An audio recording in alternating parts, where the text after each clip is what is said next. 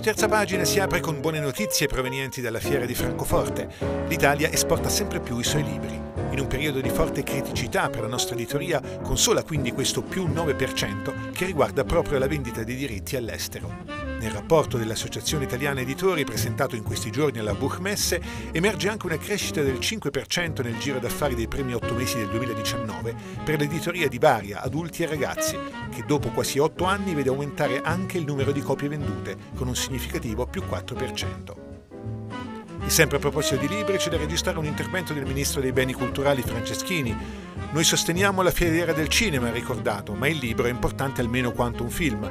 E allora perché non fare la stessa operazione sull'intera filiera del libro e quindi aiutare le librerie piccole e grandi, i distributori, gli autori, i giovani e gli editori? Attendiamo quindi una nuova legge per l'editoria.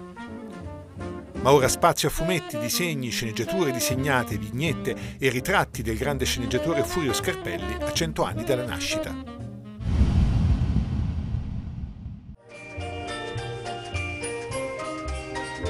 Mr. Sandman, bring me a dream.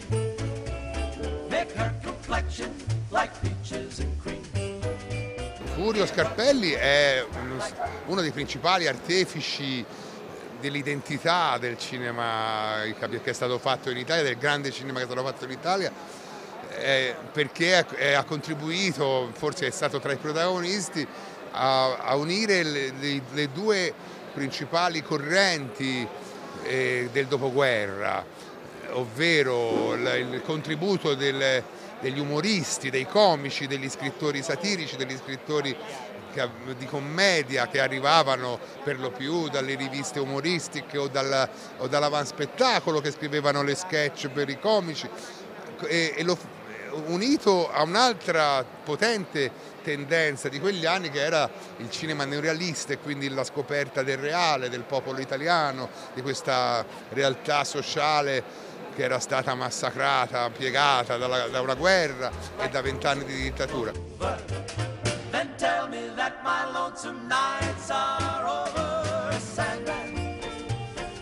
I'm so alone.